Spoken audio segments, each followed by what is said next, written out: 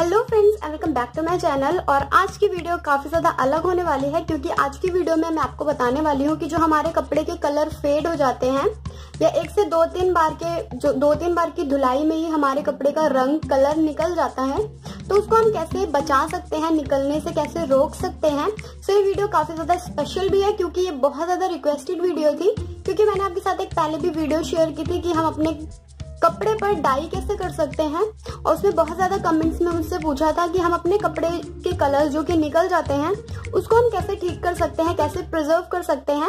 सो so, आज मैं आपके साथ यही रेमेडी शेयर करने वाली हूँ कि हम अपने जो हमारे कपड़े के कलर्स निकल जाते हैं तो उसको हम कैसे रोक सकते हैं निकलने? और देखिए ये मैंने अभी दुपट्टा लिया हुआ है क्योंकि हमारे सूट के कलर अगर ना, ना भी निकले तो दुपट्टे के साथ ऐसी प्रॉब्लम बहुत ज़्यादा हो जाती है कि हमारे सूट का तो कलर ठीक रहता है बट दुपट्टे का कलर दो तीन बार की धुलाई में ही निकल जाता है।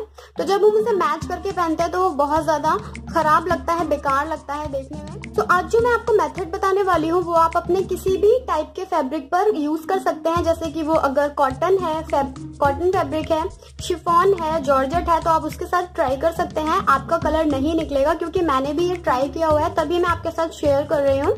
और ये जो मैंने अभी दुपट्टा लिया हुआ है उसका जो फैब्रिक है हमारे पास शिफॉन है। सो so, अभी हम इस पर अपना वो मेथड ट्राई करेंगे और मैं आपको दिखाती हूँ कि आपको अपने कपड़े का कलर निकलने से कैसे रोकना है। तो आइए स्टार्ट करते हैं। और मैं एक चीज़ और बता दूँ आपको कि ये मेथड आपको हमेशा अपनी फ़र्स्ट टाइम की धुलाई में ही करना है। अगर आप अपने कपड़े को पहली बार पहनकर धोने वाले हैं तो आपको तभी वो ट्राई करना है।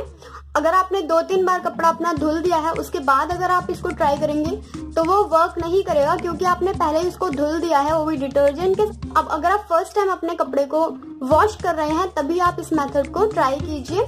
तो आइए तो सबसे पहले हम एक बर्तन में पानी ले लेंगे और इसको आपको ज़्यादा गर्म नहीं करना, केवल हल्का गुनगुना गर्म करना है, जैसे कि हम नहाने के लिए गर्म रखते हैं पानी।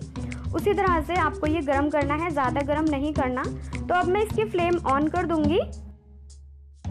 और अगर आपको जैसे कि अपना कुर्ता या साड़ी का कपड़ा, जो कि बहुत ज़्यादा बड़ा होता है तो पहले आप किसी छोटे बर्तन में उस पानी को गर्म कर लीजिए और फिर बकेट में उस पानी को मिला लीजिए। इस तरह से गुनगुना पानी रखिए, जिससे कि आपका ज़्यादा गर्म ना रहे पानी और हल्का गुनगुना रहे। तो देखिए, जब तक हमारा पानी गर्म हो रहा है, इसमें हम ऐड कर देंगे सॉल्ट और सॉल्ट के साथ ही साथ मैंने इसमें पीसा हुआ है फिटकरी। फिटकरी यानी एलम। तो अगर आपको एलम नहीं मिल रहा है तो आपको सॉल्ट इसमें डालकर, केवल आप सॉल्ट भी डाल सकते हैं। देखिए सॉल्ट एक बहुत ही मेन इंग्रेडिएंट है आपके कपड़े के कलर को फिक्स करने के लिए। तो सॉल्ट यानी नमक एज अ फिक्सर काम करेगा हमारे फैब्रिक के लिए। अब देखिए, पानी जो है, वो गर्म हो गया है तो गैस को हम बंद कर देंगे। अगर आप इस मेथड को किसी बड़े कपड़े, यानी कि साड़ी पर इसे ट्राई कर रहे हैं तो आप यहाँ पर तीन से चार चम्मच तक नमक डालिए। और अगर आप किसी कुर्ते पर ट्राई कर रहे हैं तो आप केवल दो चम्मच नमक डालिए। यहाँ पर हम सिर्फ़ दुपट्टे पर यूज़ कर रहे हैं इस मेथड को तो हमने केवल एक चम्मच नमक डाला है। सो, आपको ज़्यादा क्वांटिटी में नमक नहीं डालना, इतनी ही क्वांटिटी में आपको नमक डालना है। अब इस पानी को हम एक बार हाथ से चेक करके देख लेंगे कि ये कितना गर्म है। तो मुझे ये थोड़ा गर्म लग रहा है ज़्यादा। इसलिए मैं इसमें थोड़ा सा और पानी ऐड करूँगी और ये जो हमारा नमक है, इसको भी मैं मिक्स कर दूँगी। अब देखिए, इस पानी को मैंने हल्का गुनगुना इतना कर लिया है, जैसे कि हम नहाने के लिए रखते हैं, उतना पानी है। सो अब इस चुन्नी को मैं इस पानी में डाल दूँगी।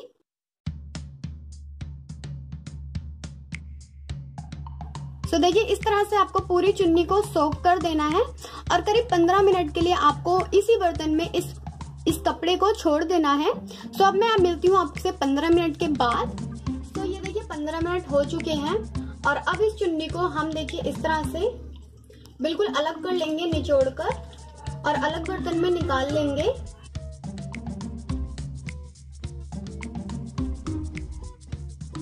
तो देखिए, दुपट्टे को हमने बिल्कुल अलग करके रख लिया है। और देखिए, हमारे दुपट्टे में से कितना ज़्यादा कलर निकला है। आप देख सकते हैं। और अगर हम इसको डिटर्जेंट से सीधे वॉश कर देते तो हमारा जितना भी कलर था, वो फेड हो जाता, हमारी चुन्नी बिल्कुल खराब लगने लगती। सो अगर जब हम इसे सेकेंड टाइम या थर्ड टाइम वॉश करेंगे तो इसमें से कुछ भी कलर नहीं निकलेगा। और आप इसे, अभी आपको इसे डिटर्जेंट से वॉश नहीं करना, आपको केवल इसे नॉर्मल वाटर से वॉश करके इसको सुखा देना है और आपको इसे धूप में नहीं सुखाना, आपको इसे छाव में सुखाना है। अपने सेकंड टाइम जब आप वॉश करें अपने दुपट्टे को, या आप जिस कपड़े का भी कलर प्रिजर्व कर रहे हैं, अगर आप उस कपड़े को सेकंड टाइम धुलते हैं, पहनकर धुलते हैं, तभी आप डिटर्जेंट का वॉश डिटर्जेंट का यूज़ करें। अदरवाइज़ अभी आपको एज इट इज़ इसको वॉश करके सुखा देना है, वो भी छाव में सुखाना है आपको। तो देखिए, हमने अपना नॉर्मल वाटर ले लिया है। और ये इसको आपको कुछ भी गर्म नहीं करना, इसको हमने केवल नॉर्मल जो हमारा पानी होता है वही लिया है।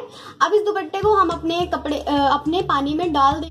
तो देखिए, इसको आपको ऐसे ही नॉर्मल वाटर में दो से तीन बार इसी तरह से निचोड़ कर छाव में सुखा देना है। और ये देखिए, अभी भी हमारा कुछ कलर निकल रहा है। तो आप इसे एक से दो बार और अगर इसी तरह से निचोड़ेंगे तो आपका कलर बिल्कुल, आपका पानी बिल्कुल व्हाइट हो जाएगा। उसके बाद आपको इसे धूप में सुखा देना है। सो इसको भी मैं धूप में सुखा दूँगी। धूप में नहीं, छाव में सुखा दूँगी।